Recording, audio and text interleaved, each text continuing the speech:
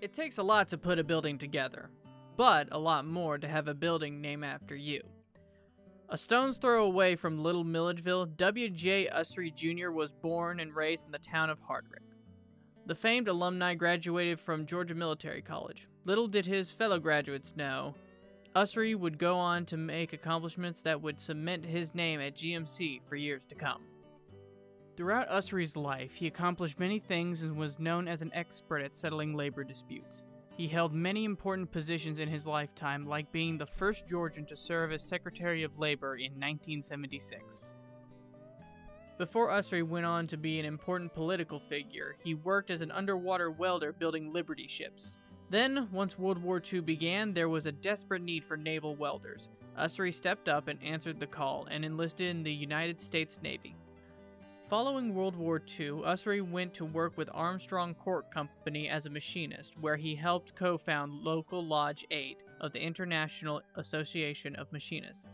Eventually, Usery was elected president of the local union. After retiring from Armstrong Cork, Usery then went on to become the union representative of the President's Missile Site Labor Commission, where he was responsible for leading labor negotiations and helping administer and service union contracts at NASA bases such as Cape Canaveral and the John F. Kennedy Space Center. In 1969, President Richard Nixon nominated Usery as the Assistant Secretary of Labor, where he oversaw the implementation and enforcement of the Labor Management Reporting and Disclosure Act.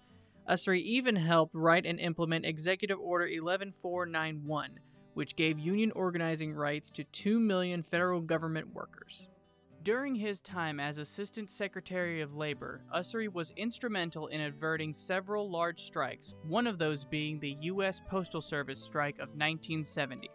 During the presidential election of 1976, President Gerald Ford, who nominated Usery to be the United States Secretary of Labor, lost the election to Jimmy Carter.